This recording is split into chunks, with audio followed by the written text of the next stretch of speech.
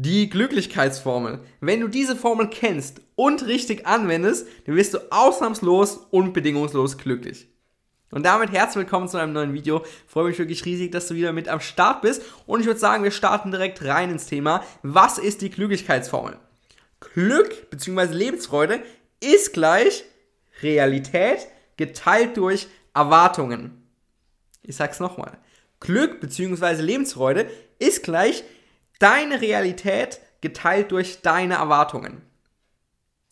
Und mit dieser Formel können wir eigentlich so jedes Glück auf der Welt können wir mit dieser Formel berechnen. Und wenn wir jetzt uns die Formel anschauen, dann gibt es zwei Wege, unser Glück zu steigern. Wir können einmal die Realitätsvariable beeinflussen, beziehungsweise wir können einmal die Erwartungsvariable beeinflussen. Und was ist jetzt der Fehler, den 99,9% der Menschen machen, ist, Sie versuchen ihre Realitätsvariable zu beeinflussen. Sie gehen davon aus, wenn ich mir eine bessere Realität kreiere, dann ist automatisch mein Glück, mein Wohlbefinden, meine Lebensfreude höher. Und das heißt, wenn sie in einer Wohnung sitzen, dann wollen sie ein Haus haben. Wenn sie in einem Haus haben, dann wollen sie einen Palast haben, dann wollen sie eine Villa haben. Wenn sie 1000 Euro im Monat machen, wollen sie 10.000 Euro im Monat machen. Wenn sie 10.000 Euro im Monat machen, wollen sie 100.000 im Monat machen. Wenn sie in einem VW sitzen, wollen sie in einem Mercedes sitzen. Wenn sie in einem Mercedes sitzen, wollen sie in einem Ferrari sitzen. Und so weiter. Und das heißt, klar, du kannst auf der einen Seite deine Realität verbessern und optimieren, dein Lebensstandard wird auch ansteigen, allerdings wird deine Klugigkeit, deine Lebensfreude, deine emotionale Bandbreite immer dieselbe bleiben, weil jetzt kommt nämlich der ganze Clou, deine Erwartungen auf der anderen Seite, die steigen mit an. Das heißt, wenn du 1000 Euro im Monat verdienst, denkst du dir, Alter, wenn ich 10.000 Euro im Monat verdiene, huhu, Alter, dann bin ich der glücklichste Mensch auf dem Planeten, dann habe ich Lebensfreude, bin ich in Person. Und irgendwann machst du dann diese 10.000 Euro im Monat und dann denkst du dir, fuck man, Alter, meine Freunde, die machen jetzt so alle auf einmal alle 30.000. Und ich habe jetzt gecheckt, dass es ultra easy ist. Warum soll ich mich dann mit 10.000 Euro im Monat zufrieden geben, wenn ich auch 30.000 im Monat machen kann? Und das heißt, deine Erwartungen sind höher geworden und das heißt, an deinem Glück hat sich nichts geändert, weil deine Realität zwar angestiegen ist, aber dafür sind deine Erwartungen proportional mit dir angestiegen. Und das kannst du bei allem so machen. Wenn du ein Haus hast, dann denkst du dir, okay, ich bin klüglicher, ich bin auf jeden Fall klüglicher, äh, wenn ich eine Villa habe. Ich habe zwar schon ein Haus, aber wenn ich eine Villa habe, dann bin ich auf jeden Fall noch glücklicher. Und dann hast du irgendwann eine Villa und dann merkst du, fuck man, Alter, es gibt Leute, die haben mehrere Villen. Und zwar nicht irgendwie auf dem Land, sondern in München in der Innenstadt. Ich brauche jetzt eine Villa in München in der Innenstadt, in Kapstadt und in Dubai. Weil dann geht es mir besser, dann habe ich endlich komplette Freiheit erlangt. Und die meisten Leute checken halt einfach nicht, dass sie ihr ganzes Leben lang versuchen, ihre Realität zu optimieren, allerdings ihre Erwartungen immer gleichzeitig mit ansteigen. Und es das heißt, dadurch, dass sie hohe Erwartungen haben, können sie ihre Realität nie wirklich genießen. Weil was ist ein Haus wert, wenn du auch einen Palast haben kannst? Was sind 10.000 Euro im Monat wert, wenn du auch 100.000 haben kannst? Das heißt, du zerstörst ja eigentlich mit deinen Erwartungen immer den jetzigen Moment. Was ist eine Pizza wert, wenn es nicht die geilste Pizza auf dem Planeten ist? Was ist ein Date wert, wenn es nicht das geilste Date auf dem Planeten ist? Sagen wir, du machst jetzt einen, Abend, einen schönen Abend mit deiner Freundin. Du hast jetzt ultra die hohen Erwartungen, du willst irgendwie was ultra Geiles machen und, und so weiter. Wie, wie sieht die Realität aus? Die Realität sieht aus, dass ihr, keine Ahnung, wahrscheinlich Netflix und kuschelt und so weiter. Und denkst dir, fuck man, Alter, ich hatte so hohe Erwartungen und jetzt ich hier Netflix und kuscheln. Aber hättest du diese Erwartungen nicht gehabt, dann wäre das Event, was ihr ja dann gemacht habt, ja voll geil gewesen. Und das heißt, die Differenz zwischen, äh, zwischen Realität und Erwartungen, das kriegt eigentlich alles Leid, beziehungsweise all das nicht glücklich sein.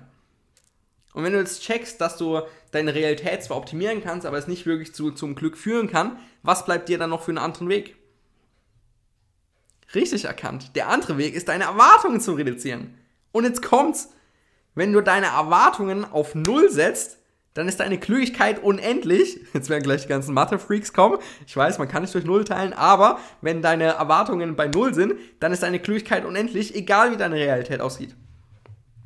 Dann kannst du von mir aus von 500 Euro im Monat gerade so durch die Runden kommen. Wenn deine Erwartungen einfach bei Null sind, bist du trotzdem glücklich. Weil du denkst dir, Alter, ich lebe in Deutschland, ich habe den mächtigsten Reisepass überhaupt, die medizinische Versorgung äh, funktioniert, äh, die Sonne scheint und ich bin am fucking Leben.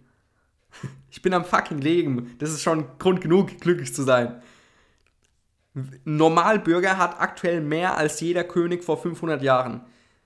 Wir leben in Deutschland, wir haben einen deutschen Reisepass, der mächtigste der Welt. Wir sind am Leben, wir sind größtenteils gesund.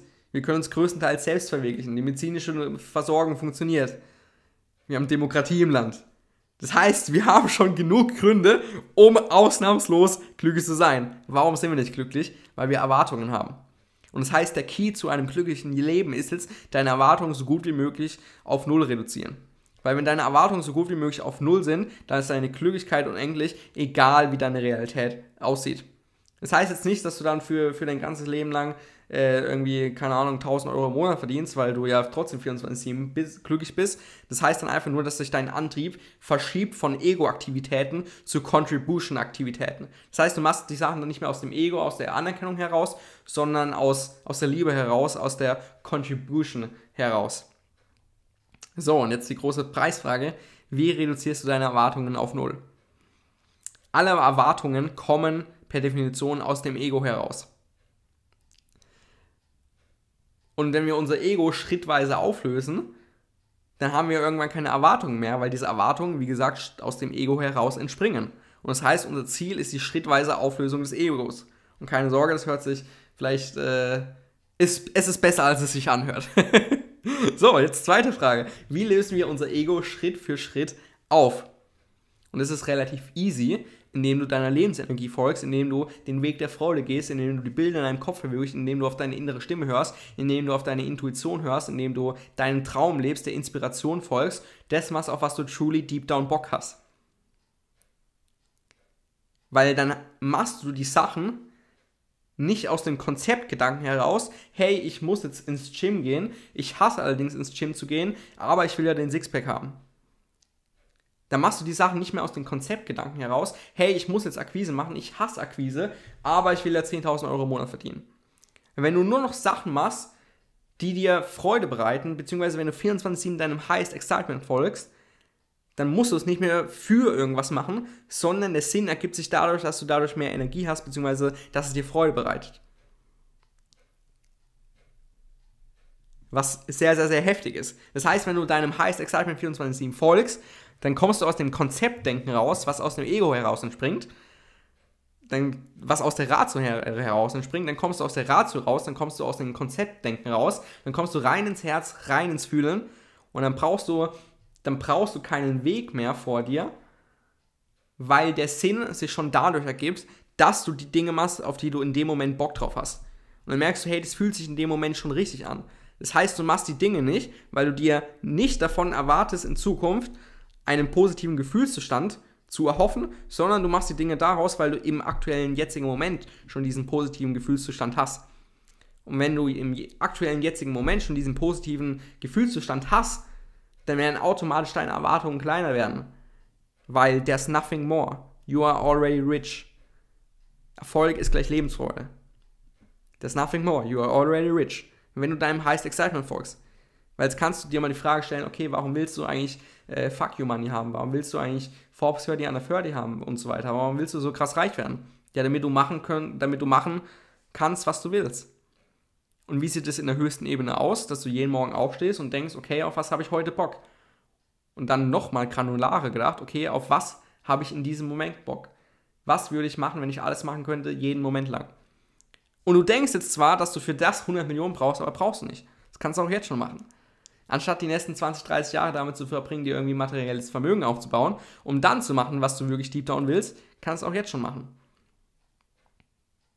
Und ja, du wirst nicht pro gehen. du, wirst, du wirst durchkommen. Ziemlich gut sogar. Und wenn du erst ausgesorgt haben willst, bevor du diesen Weg gehst, dann wirst du halt merken, okay, fuck man, jetzt hast du extrem viele Glaubenssätze aufgebaut, jetzt hast du extrem viele Konditionierungen aufgebaut, dann merkst du, ey, okay, fuck man, ich kann gar nicht mehr still sitzen. Und dann ist die Deinstallationsphase extrem hoch.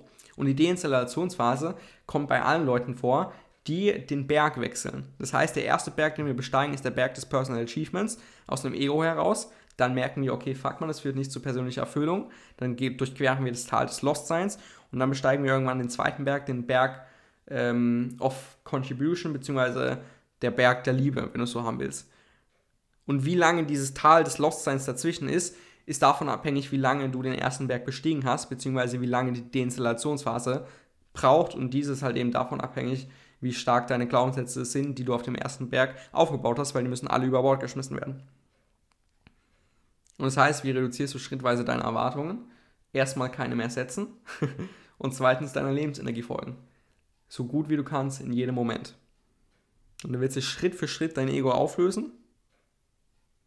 Und dann hast du keine Erwartung mehr. Und dann bist du 24-7 glücklich.